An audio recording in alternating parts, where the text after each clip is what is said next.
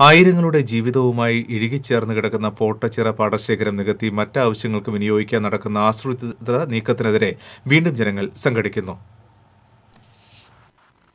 സംരക്ഷണമില്ലാതെ ലോപിച്ചുപോയ അവശേഷിക്കുന്ന മുപ്പത് ഏക്കർ പാടശേഖരമാണ് മരങ്ങൾ വളർത്തിയും പച്ചക്കറി കൃഷികൾ ചെയ്തും റിയൽ എസ്റ്റേറ്റ് ലോബികൾ കൈയടക്കി വെച്ചിരിക്കുന്നത്.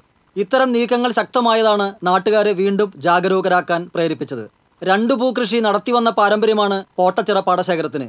വേനൽക്കാലത്ത് ചിറയിൽ വെള്ളം കെട്ടി നിർത്തി വലിയൊരു പ്രദേശത്തിന്റെ കുടിവെള്ള സ്രോതസ്സാക്കി മാറ്റും. ഏഴ് കുളങ്ങളടങ്ങുന്ന വിശാലമായ പാടത്ത് കൊടും വരൾച്ചയിലും തെളിനീർ പോലെ ഒഴുകുന്ന തോട് ആർദ്രമായ അനുഭവമാണ്. പോട്ടച്ചിറ തോട് ചെന്നെത്തുന്നത് ചാലക്കുടിയുടെ ഹൃദയഭാഗത്തുകൂടെ ഒഴുകുന്ന പറയൻ തോട്ടിലാണ്. നെൽകൃഷിയിൽ നിന്നും കർഷകർ മുഖം തിരിച്ച കാലത്തായിരുന്നു ഇവിടേക്ക് ഭൂമി കച്ചവടക്കാരുടെ കഴുകൻ കണ്ണുകളെത്തിയത്.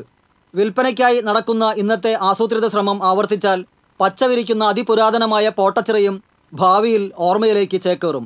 ഇത് കയ്യേറ്റം നടത്തി നടത്തി നടത്തി നടത്തി ഇതിന്റെ വീതി കുറയുകയും ഇപ്പോൾ ഈ തോടിന്റെ കരകളിൽ മാവ് അങ്ങനെയുള്ള സാധനങ്ങൾ. ഇവിടെ ഇങ്ങനെ നോക്കിക്കഴിഞ്ഞാൽ കാണാം. അതൊക്കെ നികത്തി അറുപത്തഞ്ച് ഏക്കറോളം ഉള്ള ഒരു പാടശേഖരം മുപ്പത് ഏക്കറോളമായിട്ട് ചുരുങ്ങി. വർഷങ്ങൾക്ക് മുൻപ് നഗരസഭാ ചെയർമാൻ എം എൻ ശശിധരന്റെ നേതൃത്വത്തിൽ ചിറ സംരക്ഷണത്തിന് ഏറെ പരിശ്രമങ്ങൾ നടത്തിയിരുന്നു. പാടം നികത്തുന്ന നീക്കത്തിനെതിരെ ജില്ലാ കളക്ടർ തഹസിൽദാർ തുടങ്ങിയവർക്ക് പലവട്ടം പരാതിയും നൽകിയിരുന്നു. എന്നാൽ കാര്യമായ നടപടികൾ ഉണ്ടായില്ല.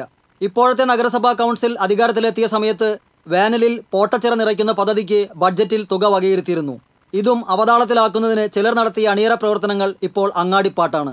നാട്ടുകാരെ സംഘടിപ്പിച്ച് ശക്തമായ ചെറുത്തുനിൽപ്പിന് രംഗത്തിറങ്ങുകയാണെന്ന് സി പി എം പ്രവർത്തകനായ എ വി ഷാജി പറഞ്ഞു. നഗരസഭാ കൗൺസിലിലെ പ്രമുഖ നേതാവാണ് പാടശേഖരം നശിപ്പിക്കുന്നതിന് മുഖ്യ പങ്ക് വഹിക്കുന്നതെന്നാണ് ആക്ഷേപം. T C V Chalakudy.